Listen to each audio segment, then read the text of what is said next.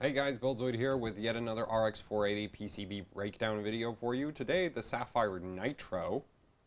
So this is one of the uh, custom RX 480 PCBs. And uh, before we start taking a look at the PCB, I need to cover something. So what you see right here on the screen right now is not what you can currently buy because uh, there's two versions of the PCB. This is the nicest photo I've seen of the older version, and I haven't seen a good photo of the newer version. Um, but really, the only difference between the old version, which you can see right here, and the new version is that the new version is missing some of the bits of the old version. So yeah, the old version was better, but I guess too expensive for them to keep making it. So yeah, this is the retail version of the card, and as you can clearly see, down here we have a missing, you know, missing uh, inductor, missing uh, power IR stage, and a missing capacitor. Uh, whereas on the old card, th that's all still present. Um, so for the purposes of this video, I will just ignore this entire section's existence. Doesn't exist. And let's roll on like nothing changed. So yeah, this is a this is an RX 480 Sapphire Nitro, and first things first, let's identify all of the main voltages. So for this one right here is of course V-core. Above it we have a voltage, I'm not sure which one that is. And over here we have, I'm not sure which one this one is either. Now both of these are the exact same components. The only difference being Nah, there isn't a difference. I thought there was a difference, but that's a 15 volt capacitor, whereas there's a 15, well, that's a 16. I can't read. That's also a 16. They don't make 15s. Uh, so yeah, yeah. So there's literally no difference. Same number of capacitors in both of them. Same number of multi multi-layer ceramics. So yeah, exactly the same components on both of those. And I'm just not sure which one powers what. One of them will be taking care of the GDDR5, and one of them will be taking care of the GPU's memory controller, which I think is which is somewhere on the edge of the GPU. I'm not sure where. So, yeah, one of them takes care of the memory controller. One of them takes care of the uh, actual memory chips, and they're both the same exact components. So whatever you know, so I'll just cover one of them and say if it's do, yeah, basically I'll cover it anyway. Um, and down here we of course have the 0.95 volt uh, rail which takes care of display stuff inside the GPU. So yeah, and before we get on to the actual analysis of each of the VRM's components, I'd also like to point out that this is one of the few RX 480s with a BIOS switch, which is, in my opinion, a really, really worthwhile feature if you want to get into uh, BIOS modding, because apparently it's now completely doable ever since uh, the 16.9.2 driver from AMD no longer checks for BIOS signatures, so you can go crazy on making custom BIOSes, and this switch is what you're going to need to do. That switch will make your life much easier than if you, uh, if you screw up with something. So, yeah, definitely a nice feature to have. The other card that has this is the PowerColor Red Devil, but as I said in that video, that's really not a card I'd want to get unless if, if I was into like extreme overclocking. For other uses, it's fine, but for extreme overclocking, I'd be kind of worried that you might, you know, damage the PCB in some way. So, yeah, stick to, well, this card's actually perfect for uh, air-cooled and water-cooled overclocking, as you'll find out soon enough. So what are the VRMs actually made up of? So first things first, let's cover core voltage. Core voltage is a 1, 2, 3, 4, doesn't exist, 5 uh, phase VRM. So this is less than most of the other, actually not most, all of the other RX 480s. Every other RX 480 has 6 phases. But do not be fooled. Having five phases does not necessarily mean that your VRM is weaker than everybody else's, okay? Because this here five-phase VRM packs 40 amps per phase at 125 degrees. Holy freaking crap. So, basically, this powers the GPU core, and you get 200 amps available to you. Very, very nice. And you get 200 amps because these guys right here are Power IR International, uh, Power Power IR stages, which are inter fully integrated, basically driver IC, high side MOSFET, low side MOSFET, uh, you know, fully integrated into one little IC, and that's made by International Rectifier, and these are the 3553s, and these are 40 amp parts. Each of them is rated for 40 amps uh, average current draw, so uh, you can have spikes above that and dips below that. Uh, the spikes can be up to 60 amps for 4.5 milliseconds, which is actually kind of, this is really long actually, because GPUs can change their power state, uh, at least the modern GPUs can change power states in like milliseconds. Uh, or at least the Fury could do that. I'm not sure if the RX 480 continues with that. I'm sort of suspicious, like I hope that AMD didn't go and just throw out power management technology just because, you know, let's throw out power management technology, but it is possible that they, you know, change some power management things, but still, you get a lot of, you know, current available here. So how does this stack up to, say, the reference card? Well, at 125 degrees, this is better than the reference card. But as you start lowering the temperature, the reference card starts getting an advantage, because the 3553 by design can never ever exceed that 40 amp rating, and unfortunately the datasheet doesn't specify why, but I'm going to have it as a guess that it's because the solder attaching the these guys, the solder attaching these guys to the PCB can't carry more current than 40 amps before heating up and melting. Um, that is a actual possibility for a lot of different MOSFETs, and depending on how a MOSFET is, like, depending on how the package is built, so the actual uh, casing of the silicon that makes up the MOSFET is, you know, built, that can actually be weaker than the silicon inside it. So I suspect that's the case for these um, because the, the, the data sheet basically tops out at 40 amps. And usually when a manufacturer tops out, flatlines the data, you know, their uh, current draw graphs at a certain current rate, uh, current level, uh, regardless of temperature, it usually means it's because literal, like the rest of the MOSFET couldn't deal with it. It's not because the silicon couldn't deal with it. So unfortunately, these at low temperatures actually perform worse than the reference card and a few other, uh, as well as uh, some of the weaker RX 480s. This is not, however, the most powerful RX 480. The Strix, which I covered ages ago, is way more, you know, way more capable VRM because that also uses power IR stages, except it uses the 3555, which is the 3553's uh, bigger brother, and that thing can do 60 amps per, per phase instead of just 40. Still, very, very nice VRM, and also this VRM at really high temperatures is by far one of the best. At 125 degrees or, uh, you know, no heat sink and some airflow, basically, is the scenario we're talking about here. This VRM can handle the most amount of current out of everything except basically the Asus Strix. Um, the Asus Strix is, you know, based off, is very similar to this, just better.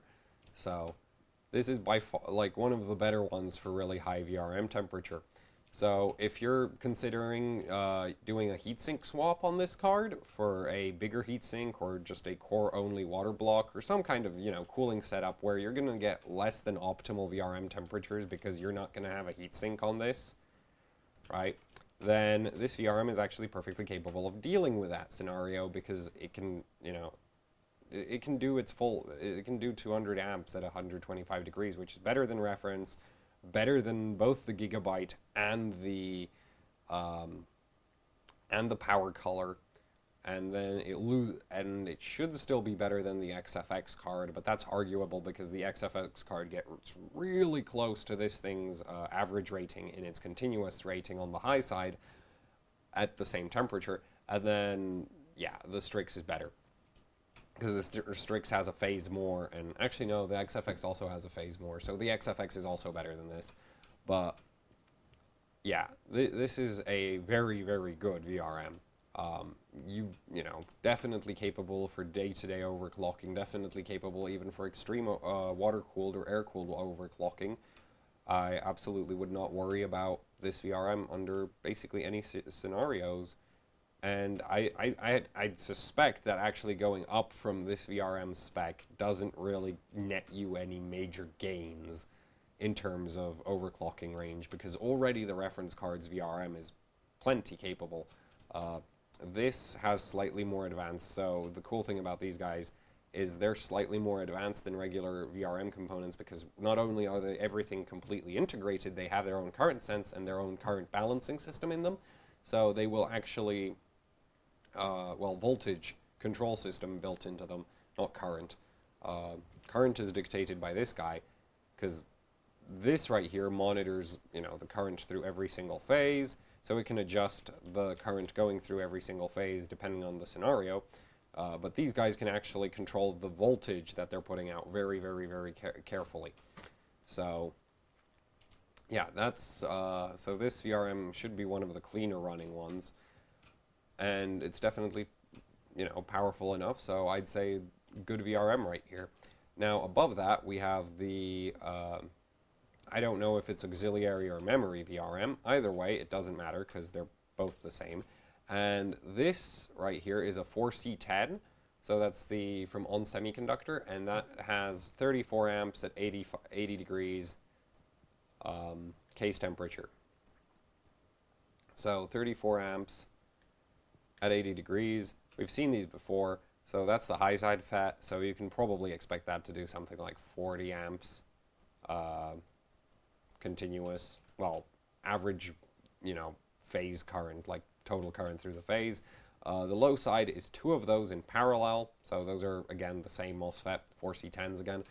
So really, again, plenty powerful for powering the GDDR5, you know, so the GDDR5 only pulls around 30 to 40 watts, so it's definitely plenty powerful for powering that.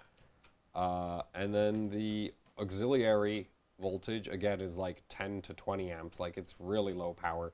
So it's plenty powerful for that as well. So there's no complaints about uh, either of those. So both of those are perfectly capable. Uh, the core voltage is very, very capable. And this guy doesn't matter because you can't control it and it's super low power. So overall, this is a very nice RX 480 PCB. I'd definitely say if you have it, good for you. If you're thinking about buying it, go right ahead.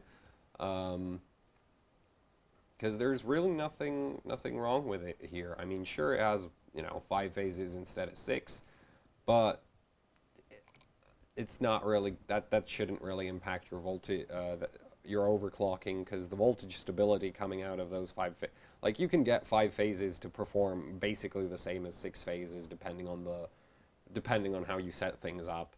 So Sapphire can totally get away with running a five phase VRM and competing with six phase VRMs, uh, you're not going to have a major disadvantage just because of the phase count change. As far as current goes, this is one of the better VRMs uh, doing 200 amps at 125 degrees. So yeah, de definitely a, a good card to go for. And I really have nothing to complain about. So yeah, that's that for the, the analysis part of the video. So if you know you don't want to listen to me ramble on about some some updates, this is the part of the video where you scroll down, you press the like button, or then if you're not subscribed, you go and press the subscribe button. If you have any questions or comments, you can leave them in the comments section down below. So, and that's the end of the, oh, wait, no.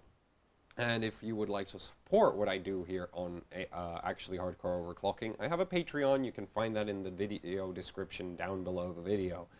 So you can go there, and do that.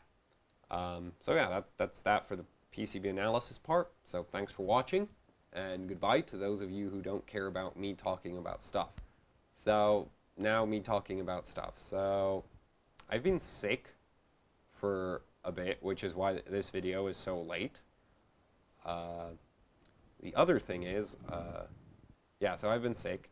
I was also in the Czech Republic, and I wanted to uh, do a video about the basement, but because I, uh, the basement being where actually hardcore overclocking sort of started, so that's literally my parents' house. That's the basement in my parents' house, right? And that that basically became my computer lab because the, they like my computer just put out way too much heat, and they also kept banning me from using the computer. So that that was fun because, yeah. So I was per basically perma-banned from using the computer, and it just became a huge hassle for me to just move this like big desktop computer, you know, from my room to my par to, to some room where it would get locked up. So So eventually, it was the decision was made that the computer would live in the basement, and I would not get the key to the the room it was in, um, until I was you know allowed to use it again. So yeah, and eventually they stopped banning me so much from it, and that became the actually hardcore overclocking lab, and that's where I sort of started out doing everything I do here now. So I wanted to do a video about that place, except I was sick, so I couldn't do that. However, I did get a chance to pick up a lot of awesome equipment, uh, like a noise level, uh, a noise level meter, uh, some power supplies, because having extra power supplies is always a good thing, a ton of fans, so I'm actually planning on doing a, basically fan reviews.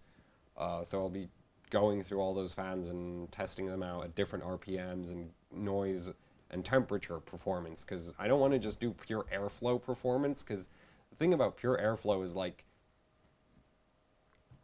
I want to know if it actually makes much of a difference. You know, it's like, yeah, we can see that this fan pushes twice as much air, but your temperatures aren't going to be twice as good. They just aren't. So I want to see what kind of a difference they make in the real world. Because do remember that temperature is literally like, you know, if you have a fixed uh, heat load, then your temperatures are going to be bound. Uh, your temper, your minimum temp, your basically uh, your ah, I'm, I'm not going to try explain it right now. I'm still recovering too much. Screw it.